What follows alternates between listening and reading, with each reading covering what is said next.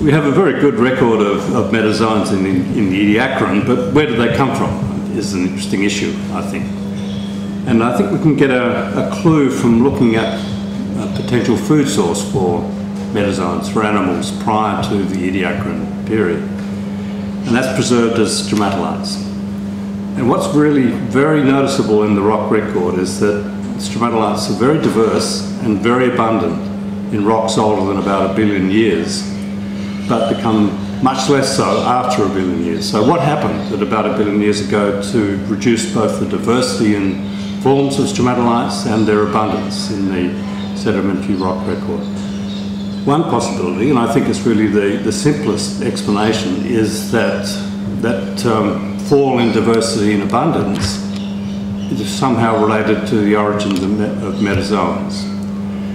For example, if there were microscopic or millimetric animals of one sort or another, such as things that uh, are like nematodes now, which are little worms.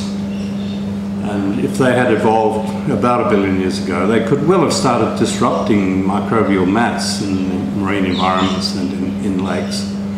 And they could have been living, in fact, on the, the cells of the microbes that build stromatolites. And even if they weren't eating them, they could have been, through their microscopic burrowing activities, have been disrupting the laminated structure of, of these microbial mats.